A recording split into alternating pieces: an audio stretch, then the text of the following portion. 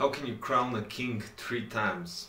Well, it's quite easy if you think about this tree right here. So NAHC 7 Chromax Black Swap, we have the NAHC 8 Chromax White and the NAHC Chromax Black. We have two here and one is already on the cooler. So we're going to talk about the Noctua NH-U12A Chromax Black and of course going to introduce NF-A1225PWM which is Chromax Black Swap. So this is something completely new. You might already seen PR articles and other publications on Instagram and other social media but we're going to cover this and definitely going to test this one out. So let's go. First of all, the crowns for the NH-U12A are quite uh, interesting because you can uh, hide the passive uh, heatsink on the CPU tower cooler and basically change the design, make it more subtle, nice and still get uh, cool design. And it doesn't affect the cooling without a doubt, so let's check it out. We have here three tops Actually, one is already on the cooler, and this one is Chromax Black, Chromax White, and we have the Chromax Black swap uh, in the build. But this is the thing. You have the NAHCF3 they are calling the magnet that actually holds the heatsink cover and you also have the NAHCC1 which is some sort of a pin that holds the magnet to the CPU tower cooler. You have to connect it here and use two fins of the uh, NH-U12A so it holds firmly and all these holes are designed for the heat pipes that go to the top part of the heatsink. This way when you connect it like this it holds firmly and the other magnets pull the cover top on the CPU tower cooler. So this way you can definitely play around with color scheme if you're going with monochromatic design so you could go with white and Chromax black or you could go completely anti-RGB with this one or just add a dash of uh, colors uh, to the Chromax black swap. Now, the Noctua NH-U12A, we already covered the standard version, so it was around two years ago. But today we have the Chromax Black, and it's not like we need to test it uh, thoroughly and to check out uh, everything but without a doubt we have a quiet CPU tower cooler that does the job and you can definitely expect uh, some nice results. Uh, first of all, let's start with uh, the build that I tested in. So AMD Ryzen 5 5600G this CPU tower cooler is definitely an overkill for that processor because it keeps it cool in AIDA 64 Extreme Edition under full load so this is a situation where you only use for rendering videos or photography or anything similar to that that is taking up uh, complete processor strength power and load and uh, it was 56 57 celsius degrees. Of course i do have to mention that these tests were run in fractal torrent which has two 180 uh, millimeter fans on front which have high cfm with low rpms and that definitely did help the cp tower cooler uh, bring the temperatures down. But in any case it's really quite interesting to see the temperatures in a nice uh, airflow chassis and not in some closed front panel. So when we're talking about the uh, NH-U12A we have something uh, interesting here and it's quite easy to mount it basically uh, when you take out the accessory box and uh, check out the details what you get inside you might uh, think, okay, is it going to be that hard to mount the CPU tower cooler, well, the NH-U12A on your CPU? Well, I'll tell you this, it definitely won't, and you have an instruction manual which definitely helps you while doing the whole process. So let's just do it just in case so you guys don't miss anything. First of all, you do need to remove uh, the retention module on top of the AMD socket. So those four screws need to be removed and the top part, but you do need to leave the backplate that comes with the motherboard. Then you use the NM-APS4, which are gray plastic uh, spacers, standoffs, whatever. And you do need to use the uh, mounting bars, which need to be pointing uh, outwards with the curved sides. Then you use uh, four long screws and tie everything to the original backplate that comes with the motherboard. Use a pea-size amount of thermal paste and after that remove the fans from the heatsink of the CPU tower cooler and then you'll see basically that you have two screws that you can mount on those mounting bars. Now, when you're tying up the heatsink, I would recommend tying them evenly. So two to three turns on each side evenly so uh, the heatsink doesn't tilt on one side or it doesn't pop up uh, pop out the other side. So never ever tie one side fully and then decide to go with the next one because you'll either damage the threads or you will most likely damage something else. So be very careful two three turns on one side two three turns on the other and do that evenly until the screwdriver can't twist anymore don't tie it too much because then again you can damage the threads after that, when you're finished with the complete uh, place and placement of the heatsink, you can now place back the fans and use uh, the Y-splitter cable if you're not going with LNA.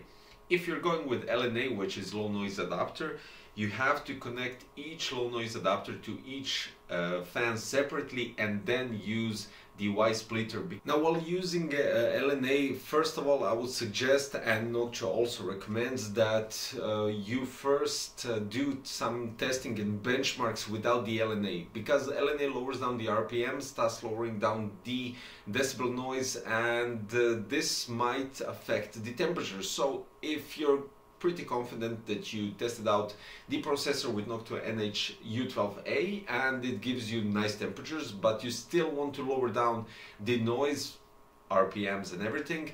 Uh, that way you can be confident that you can use LNA. Don't use LNA if you're not uh, certain about uh, temperatures and uh, because here's the thing, if you lower down the RPMs, the temperatures will definitely go up no matter what uh, occasion. So as Noctua recommends, first use the CPU tower cooler without the LNA when you see the temperatures and when you're quite confident that with the LNA it would do quite alright, then use it and of course test it again just in case.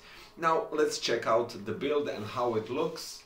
As you can see, we have the NAHC7 Chromax Black Swap right here on the CPU tower cooler, on the heatsink, and you can change these panels that that are in white just by replacing them because you get everything here inside this box. Now this box contains uh, six different uh, variation of colors for the front top to be changed basically acquiring uh, the color that you need for your build to get a decent color scheme that you desire. So you can go with red, blue, black, so complete black. Basically you can go with this one, but okay.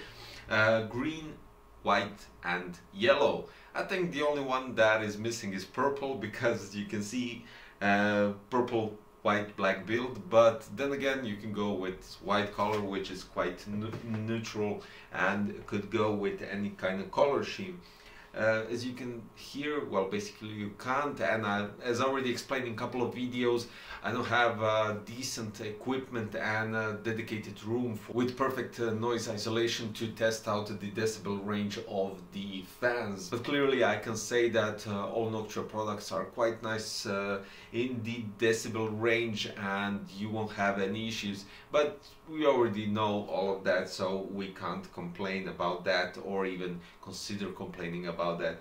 Now this case has loads of airflow, so that's why I didn't decide even to place a 120 or 140 at the back because the front 180 fans really do create nice airflow throughout the chassis, through the heatsink, giving nice boost for the uh, two uh, NFA12 uh, 25 PWM fans on the NH-U12A and basically giving us uh, quite nice results. In any other case that doesn't have such uh, accommodation of the fans, you would most likely get some extra noise coming from the front fans because they need to spin faster to get that kind of CFM from the front panel to the uh, CPU tower cooler. And of course the front panel here is quite open so that's that I would say quite nice combination if you're running with air cooling and if you're into air cooling you want nice quiet build which also to your preferences should look uh, nice and stealthy. You can go with NHU12A Chromax Black switch the front panels if you decide to cover up the heatsink and of course always use uh, NF-A1225 PWM Chromax Black Swap which you could change the dampening pads uh, to the color that you desire. So for instance you go with the Chromax Black Swap NAHC7 and you can reorganize the color scheme as you desire. As I'm checking out the uh, NFA12 uh, they actually here have seven colors. They're all the same but uh, at the end you have gray so that's that. A bit of a difference uh, comparing to the color scheme of uh, the NAHC7 Chromax Black Swap. Uh, as always, um, I do recommend Noctua products, um, not because all of this, but just because they perform quite well and uh, everyone that I recommended Noctua products uh, did an extremely great job. So there's no discussing about it this is something uh, more like not a review even though I did give you some uh, thermals about the processors and the decibel range as already stated but more like an introduction to the new products from Noctua. There's that. Um, all in all I'm always satisfied with Noctua products. First of all the fans are outstanding. Uh, you have six heat pipes going through the heatsink of the NHU12A and directly to the uh, cold plate which gives an excellent cooling. All in all it's always a pleasure to give Noctua a PC Crazy badge so this time uh, I'm going to give approved badge and performance badge for the NHU12A Chromax Black and uh, let's put in also a creative badge because giving uh, loads of possibilities and varieties when it comes to Chromax Black Swap and uh, especially with the uh, NAHC8 uh, Chromax Black and Chromax White to give you some diversity when it comes to builds even though you're just trying to keep it minimal. So yeah, uh, thumbs up to Noctua again. I don't have to uh, say that uh, anymore. you already know everything. So guys, check out the links below for the Noctua NHU12 uh, A Chromax Black and all the crowns for the King and of course the NF-A12 25 PWM Chromax Black Swap. Thank you for watching today's video. Don't forget to support the channel by subscribing, clicking the like button and notification bell as well and also check this video or this video and subscribe right here. So thank you guys. See you next time. Bye bye.